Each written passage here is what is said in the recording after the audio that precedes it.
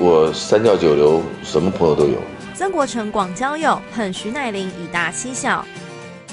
曾国成出道二十五年，为人爽快、有教无类的他，朋友圈从戏剧横跨到体育界。他日前举办五十岁寿宴，超过一百五十位宾客前往道贺，包括歌王萧敬腾、草蜢的蔡依杰和棒球明星杨代刚等令人料想不到的友人现身。阿杰从他来台湾宣传他们草蜢的当时的专辑《半点心》的时候，失恋阵线联盟一路这样子过来，我们俩年龄相仿，我们很多的很多的回忆是很共同的。然后在那个时候，我们有很多的接触的机会。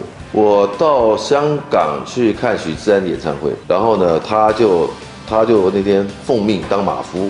看完了演唱会之后，十一点不到十二点回来，然后呢，两个人有点心情，突然又想要想要分享心情，他就开一瓶最好的威士忌，我们俩就把那威士忌喝完。注意听好，我隔天中午的飞机哦，聊到五点半。他的好友很多种，但有一种微妙的爱恨叫徐乃麟。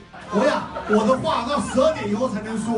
他有一个很赤子的部分，我们这两个部分很像。我们两个有一种很奇妙的互补，互补的蛮好。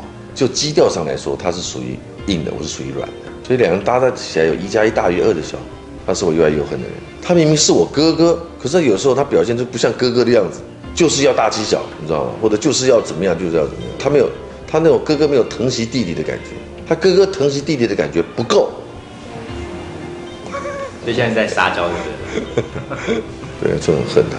哎，亲一下，亲一下，亲一下。说归说，曾国成在五十岁寿宴上跟徐乃麟可是十指紧扣，又柔又亲，看得出两人友情依然深厚。缘分太不容易，人有生老病死，你不知道这个缘分会持续多久，所以我很珍惜这个缘。